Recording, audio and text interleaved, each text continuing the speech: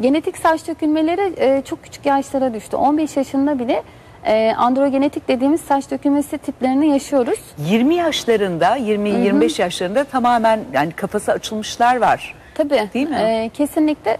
Ay şimdi şöyle bir şey var. Süreç devam ediyor. Yavaş yavaş e, özellikle androgenetik saç dökülmelerinde süreç yavaş yavaş devam ediyor.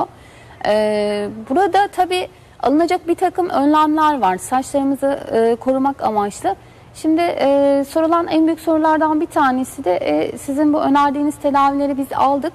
E, saç dökülmem duracak mı? Tabii ki durmayacak. Tabii ki sizin e, metabolizmanızla, o genetiğinizle saçlarınız dökülmeye devam edecek. Ama siz onları ne kadar korursanız, ne kadar uzun süreli e, onlara bir yaşam şansı verirseniz o kadar iyi. E, neticede bizim yaptığımız tedaviler e, birçok hastalıkta olduğu gibi tamamen hastalığı ortadan kaldırmaya yönelik olamıyor maalesef. E, ben hep şu örneği veriyorum hastalara. Düşünün ki bir şeker hastalığına e, yakalandınız. E, insülin bağımlısı bir şeker hastasınız. Nasıl e, şeker hastalığınızdan kurtulamadığınız gibi tedavi olmak zorundaysanız bizim hastalıklarımızda da bu şekilde.